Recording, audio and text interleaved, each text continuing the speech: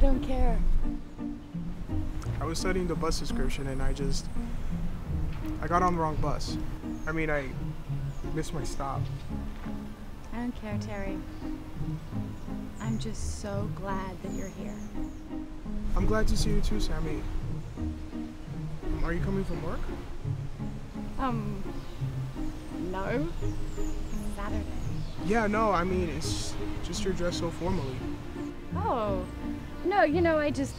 I thought it was a special occasion, which it is. Oh, it's good. I, I thought I dressed up too. That's okay, you look fine. Yeah, this is the hot cuisine of garments. What? Nothing. The reason you may not have heard from me for a while is because I was kind of unable to write on account of the fact that I was in jail for a little while. You were what? Well, I did a little time, I guess, in Florida, for uh, just for bullshit. What did you do? I didn't do anything. Does it occur to you that maybe I was wronged? No. Well, could I? What be- happened? I got into a fight in a bar down in Florida, which I was not the one who instigated it at all, but they worked up all this bullshit against me and they threw me in the pen for three months.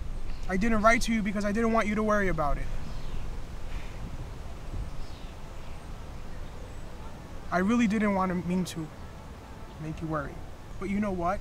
I can't run around all the time doing stuff or not doing stuff because it's gonna make you worry.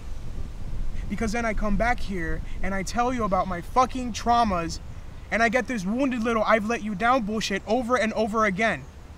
And here I am back in this fucking hole explaining myself to you again. Okay. Would you please stop cursing at me? I mean, I realize I'm in no position to say anything ever. But it's not like I'm in some redneck bar down in Florida having an argument with some stripper's boyfriend and suddenly I say, hey, maybe this be a really good time to really stick it to Sammy and get myself locked up for a few months. I'm sorry.